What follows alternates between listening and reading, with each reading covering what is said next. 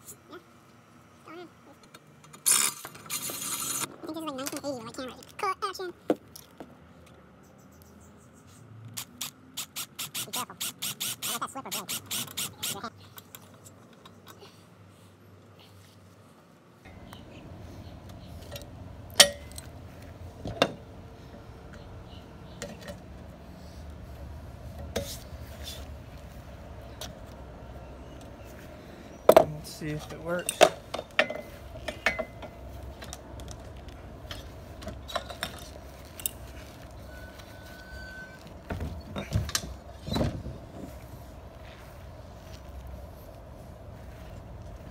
Yep. It's perfect. It's locked into place and it touching it stopping it from bouncing. So this is it. You can see the wires. This is bolted down. I have it on the deck because whether I'm standing on the deck, I can use it with my foot. If I'm standing down here, I can just move it with my hand real quick. And uh, the way I have it angled, it's not in the way of this hatch at all, where I put a lot of important stuff. Um, as you can see, the wire is coming through here. And the only thing that we're missing is a circuit breaker, and that's where the circuit breaker is going. So as soon as I get the circuit breaker, all I have to do is screw it on. It'll take a second.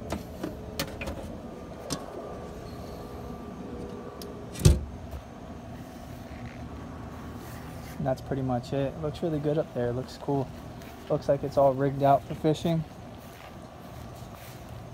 To increase the value of this boat. All right, we're out at uh, Markham Park. I'm gonna drop it in the water and see if this trolling motor works. My brother's towing the boat today. All right, so this is the trolling motor. It's uh, it's working good. Going against the current is uh, a little hard when I'm trying to fish at the same time, but um, I'm getting used to it the more I do it. Uh, I didn't catch anything, but I just came out here to test the trolling motor. Yeah, we wanted to catch something, but we didn't come out here hoping to catch anything. We just wanted to make sure the The trolling sun's motor worked. going down now, so we're not going to be out here for much longer. But uh, as you can see, I'm controlling with my foot, and I'm fishing at the same time, and it actually takes some concentration. It's not as easy as it looks. You gotta look at the camera, they can't hear you good. It's not as easy as it looks. It takes some concentration. But uh, I know I'm gonna get used to it, and then I'll be able to come out here more. Went, we went about a mile down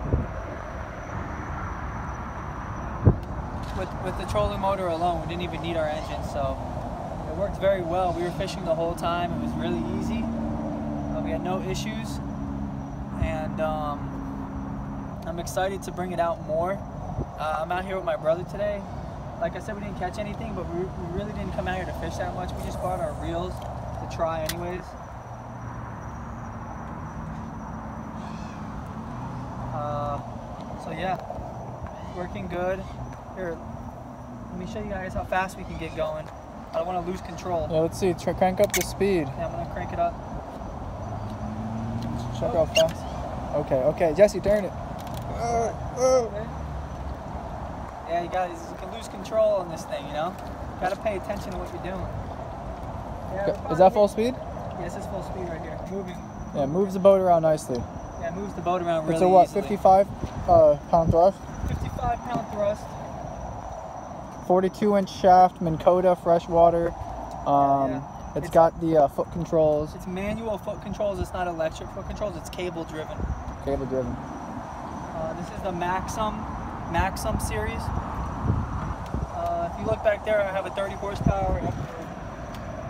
Currently not in service, but we just came out here to Yeah, fish it and test it doesn't out. doesn't work right now, but it's a good engine. And um, I got some quotes today of this guy who's going to actually come over. He's actually going to come over next week, and he's going to give me a quote on how much it's going to be for him to rebuild it. He owns his uh, own uh, boat repair company. Uh, I'll have more information on that another time. But the sun's going down. We're about to leave. We just wanted to come out here and test out the engine. I don't know how good the For the lighting is right time. now. But uh, yeah, we're gonna head back.